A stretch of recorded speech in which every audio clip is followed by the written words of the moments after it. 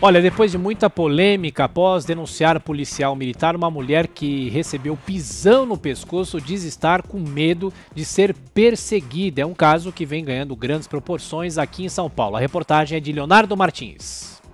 A comerciante que foi vítima de violência de policiais militares em São Paulo espera a punição dos envolvidos, mas ainda teme represálias. O caso aconteceu em maio e veio à tona neste domingo, após a divulgação de vídeos mostrando as agressões. A gravação mostra um PM pisando no pescoço da mulher de 51 anos, que é negra, enquanto ela estava deitada no chão durante uma abordagem na zona sul da cidade. Segundo a defesa da comerciante, ela teve uma fratura na perna por causa das agressões. A mulher, que não quer se identificar, diz que a família está sofrendo.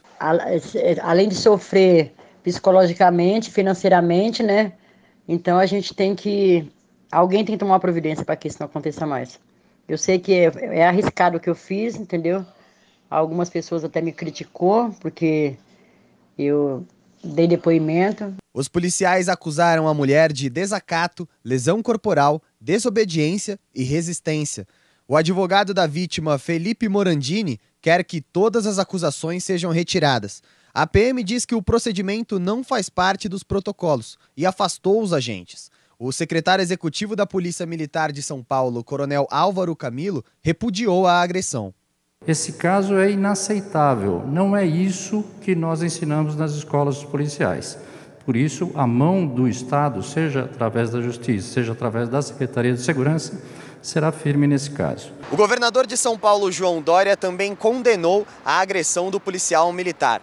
Dória ressaltou que no estado de São Paulo já está em ação o projeto Retreinar, que prevê ensinar novas lições de direitos humanos a todos os policiais militares do estado de São Paulo. Lembro que nós estamos dentro do mês do Retreinar. Foi uma orientação do governador para o comitê, o Conselho de Segurança Pública do Estado de São Paulo, do qual os dois secretários fazem parte, para que houvesse um retreinamento de todos os policiais militares do Estado de São Paulo ao longo de 30 dias. A outra medida é exatamente a aquisição e o treinamento no uso das bodycams. E o terceiro é punir exemplarmente aqueles que abusam da violência na polícia de São Paulo. Nesta segunda-feira, o Tribunal de Justiça Militar de São Paulo mandou soltar os oito policiais militares que aparecem em um vídeo espancando um homem na zona norte da capital no mês passado.